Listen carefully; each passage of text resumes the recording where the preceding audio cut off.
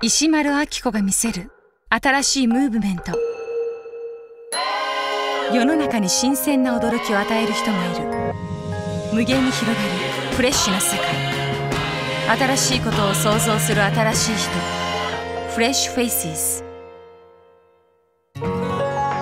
この番組は野菜にドレスを着せましょう。キユーピードレッシングの提供でお送りします。Fresh Faces. In the case of アキコ石丸新しい建築が建つ時にですねその前に建っていた古い建築が消えてしまう。私は古い建築が好きなので建てたがらない建築士。建築士でありながら建てたがらない建築士を名乗る石丸。モットーはセルフリノベーション既存の建物の改築をデザインし自ら作る。社会問題である空き家対策として注目されている。全国で今あの820万の空き家があると言われてるんですけれども建物は余ってるんだっていうのをまず古い建築を活用しようって思いからいろいろとやり始めました。壊さずに工夫して今あるものを大切に使う。その思いの原点である建物が。同潤会青山アパートメントがもう一番の師匠です。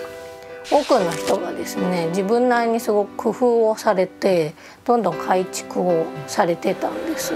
自分なりに手を入れているのが素晴らしいなと思ってその変化がもう唯一無二というかその場所に意味が出てくるんじゃないかなと思っています。新しいこと変わらないセオリー。今取り組むのは築50年以上の物件。目指すは猫と人が共生できる家づくり。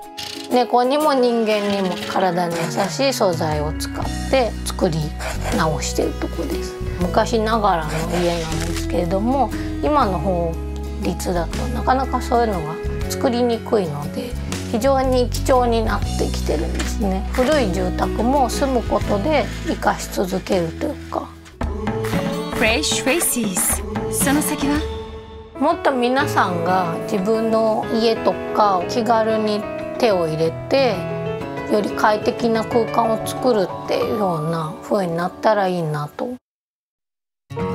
この番組は野菜にドレスを着せましょうキユーピードレッシングの提供でお送りしました。